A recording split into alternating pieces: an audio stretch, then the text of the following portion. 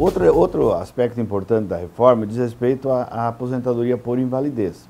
Nós sabemos hoje que no regime geral, a aposentadoria por invalidez é sempre a integralidade da média, independente da causa. Basta que tenha cumprido a carência mínima. No caso de uma doença comum, 12 contribuições, declarada inaptidão definitiva para o trabalhador, ele se aposenta e é a integralidade da média.